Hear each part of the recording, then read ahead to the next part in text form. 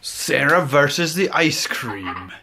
Who will win in this battle of half wits? Oh, she got it.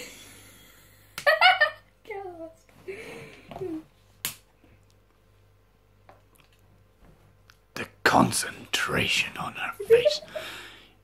You could break the atmosphere with a chisel.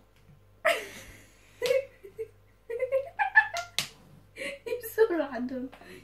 You sound like Mr. X Factor. 35 seconds gone. The thought process between using those tiny little tweezers. Amazing. Amazing! 55 seconds, the face of pride. Yeah!